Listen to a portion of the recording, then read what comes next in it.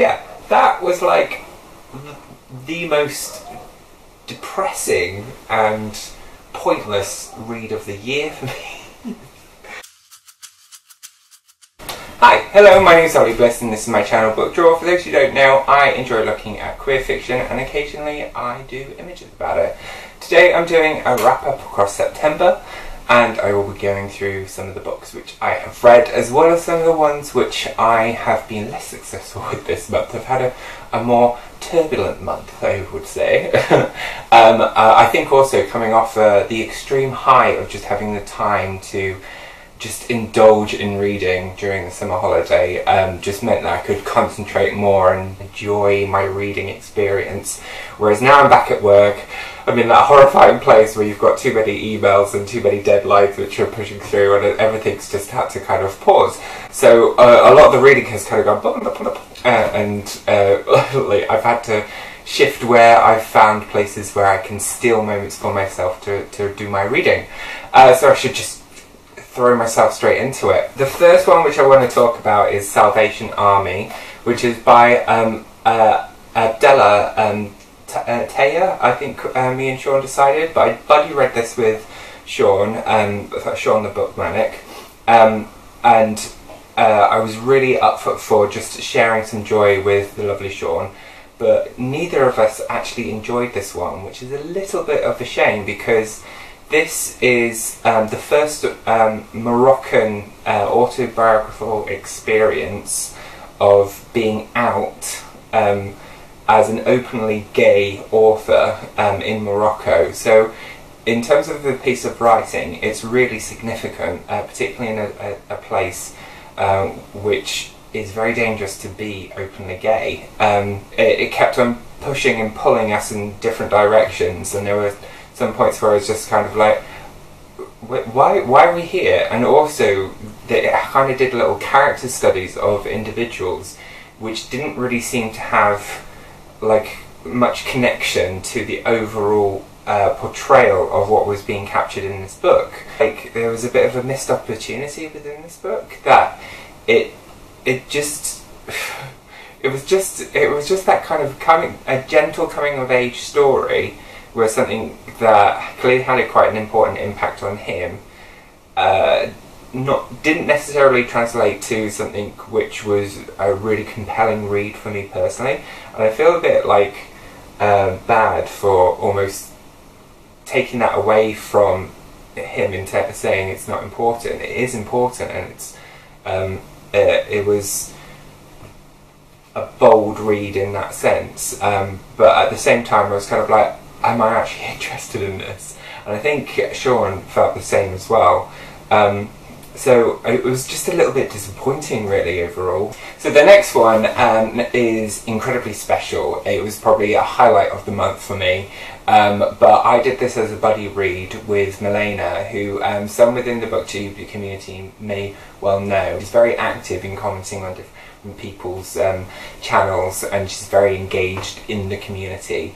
Um, but it was really, really lovely to read this book with her, and um, so we um, buddy read uh, "History Is All You Left Me," and it was just beautiful and crushing and uh, a real journey. Um, it was a real pleasure to do it um, with um, Milena, and we because uh, it was interesting because we've not both read before, and uh, so we were coming into the situation as uh, kind of strangers, and by the end of it, just felt like I'd learned a lot about her in a very short amount of time, um, and we really shared different things, um, which were wider parts of um, History Is All You Left Me.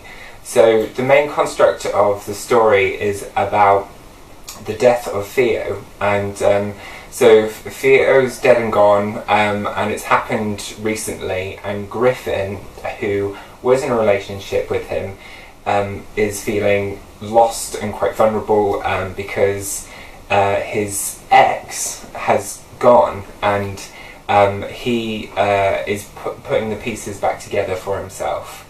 And um, through that, he uh, ends up at the funeral connecting with Jackson, who is Theo's current partner before he then died. It was also nice to do this with Milena because um, Griffin is going through this process of grief where he's trying to build up an understanding of what's happening, and he does this through connecting with Jackson. And through the dialogue with Jackson, who he previously saw as his enemy, and this other person who's basically taken Theo away from him, suddenly becomes his confidant and someone who he can lean on during this process of grief because he is literally the only other person who truly understands what he's going uh, through. Having both of them loved Theo so deeply, it also enables them to piece together what their relationship meant to them um, and what Theo, uh, who Theo was to each of them, and how he was different as well. Um, and that's something so true about that in terms of how we are different with different people all the time. Um, but it was really uh, interesting to see that journey in terms of how it's all um, revealed and how it's laid out. Griffin is a flawed character in um, some very vulnerable, uh, lovely ways as well. Um, but it makes him more real in terms of what those flaws are, and he is actually quite a selfish character throughout the book in terms of could, because he is so fixated on this death and how it's impacting on him that he is losing a sense of how he is impacting on others around him through that process. Um, and then that, of course, causes more tension and um, Jackson is also experiencing some of those things and not understanding what some of his friendship group are going, and they become exposed to that um, with each other. And I thought all of that was quite powerful teaching because this is a YA novel, um, and if I picked this up as a kid, it like it it literally gives you a, a pathway in handling grief in one way, which is a, like a, a, a, weird thing to kind of even talk about because we don't talk about death enough, I don't think.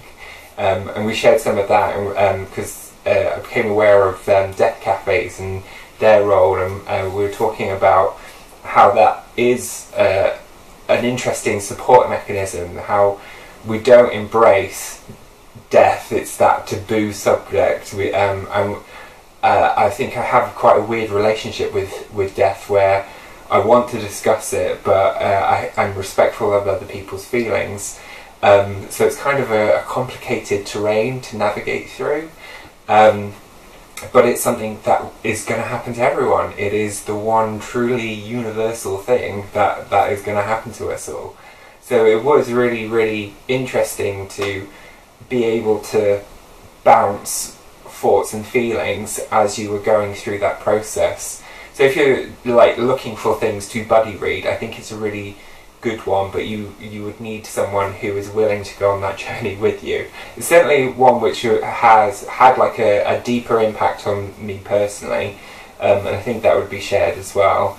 Um, but it is just a really well written, really thought through book, which um, has drama, is educational, um, and it is powerful. Uh, basically. And then following on from that one, uh, afterwards I did another buddy read. I actually did a buddy read with my partner, um, Craig, because um, we were driving down um, to the very southernly south part of the country um, to visit uh, my mum's side of the family. She has three brothers, all three were there, they've all got kids their kids have kids now, which was crazy because um, some of them are getting older now, and it makes you go. um, it's all it's all very terrifying and confusing for me to see a new generation of us around, um, and to actually see my cousins acting as parents. That's hilarious, and. Uh, it gave us the perfect opportunity to listen to a book as we were going down. And after having um, I'd done the buddy read uh, with Milena where I wanted to also read uh, They Both Die in the End. So I was on a proper uh, death train, but party of one. Um, and so I continued that with Craig with this book. Um, so it's all in the title. This was a recommendation actually last year from Chris Vigilante. I'll add um, a link to that video. Uh, and I finally got around to um, listening to it and reading it. But it's brilliant as an audiobook because it chops between two lead characters who are going to die in the end. Um, you've got uh, Rufus and you've got Mateo, um, and you, you, um, I think you kind of really you lead in with Mateo at the start of the book, um, and Rufus is kind of the complement to him, if that makes sense. There's just there's less of uh, Rufus in comparison to Mateo, I think, through the course of the book. Um, but so there's basically death cast system which will tell you first thing in the morning, midnight to one o'clock that this is going to be your death day um, and you have no control about how you're going to go, when you're going to go, um, what's going to happen to you. You don't get to know that, you just get to know that you are going to die. And it's about how you then use the remaining time that you have. And some people could have minutes, and other people will have the rest of the day. Um, so that they both get this call, and they're in very different uh, situations in their life because they're strangers at the start of the book, but they spend this one incredible day together. Um, but I just I wasn't prepared for it to be so nice and so like uplifting, um, and it really makes you kind of go go out and live, live your true self, and have a wonderful time.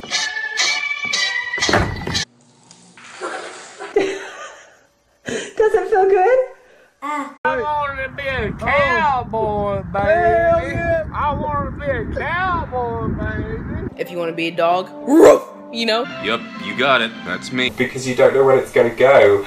Um, and there is this constant presence of fear. Because in this book, um, death is the ultimate um, antagonist to the uh, situation. Um, and it's constantly around them. They do things during the course of the day which um, make them think and reflect about what's actually important in life. And what's interesting in, in the book is that there, there are some set artificial experiences which are fun but they're safe, and um, how because there is this safety net with them, they almost feel like hollow experiences which aren't truly lived and I found that quite an interesting experience in terms of how we need a bit of fear in our lives and we need a bit of adventure and risk to make us feel truly alive. But during the course of their day, uh, um, Rufus is taking pictures and he starts taking them in black and white, and then as his life um, is enhanced, they turn to colour. Um, and there's all sorts of reasons behind that. I don't want to spoil those reasons, but it's it's very poetic and uh, beautiful. But uh, right towards the end of the, the book, he references um, his Instagram account, and I was like, I wonder if that's real.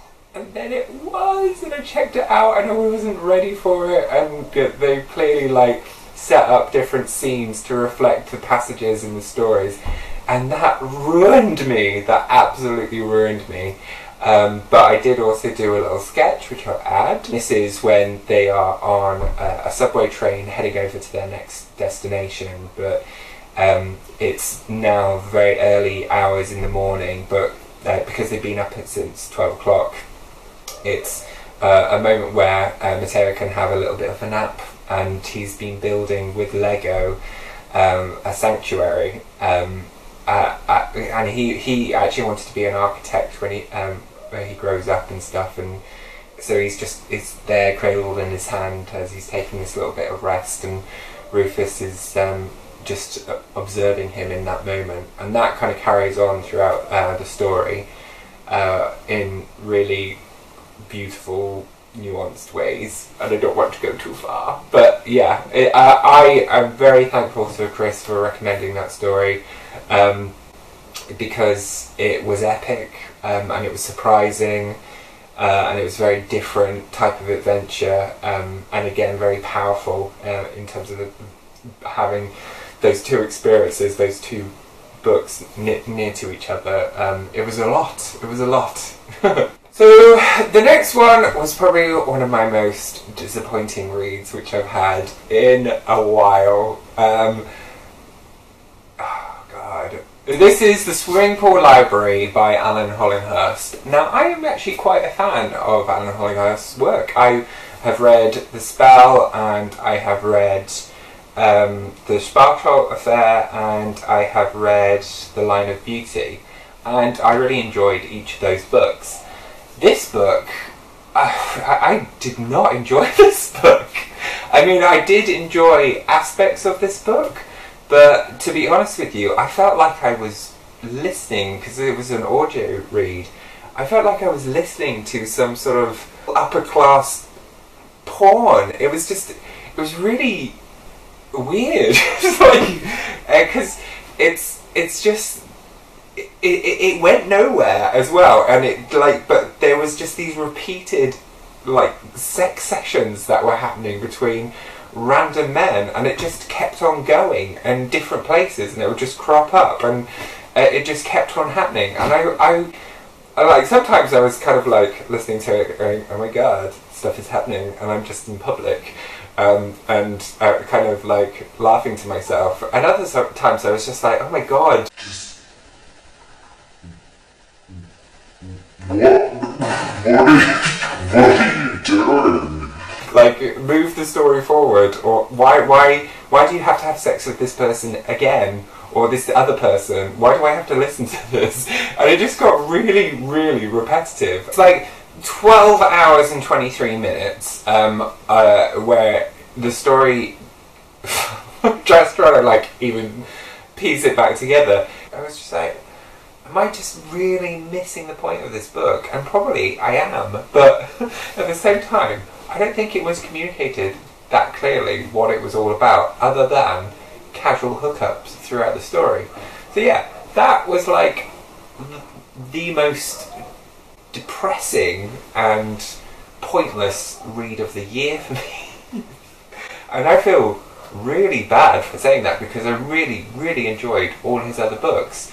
Uh, and I think that's why I'm more disappointed because I just didn't enjoy it as much as I had other books. But yeah, that that that was that was some that, that was just a, a long a long ride that didn't seem to ever end. So yeah, I've had this quite provocative month um, in in terms of my reads, uh, and it's been really epic. And I'm really looking forward to getting into Victober next month, and I've got some other cool buddy reads lined up as well. Um, I'd be fascinated to know if you've read any of these, what your thoughts are. Um, let me know in the comments down below. If you've enjoyed this video, please give me a like and subscribe because then you'll see when my next video will be up because I'm really unreliable and um, they just come up when I've got myself in order and uploaded one. So until then, see you again soon. Bye.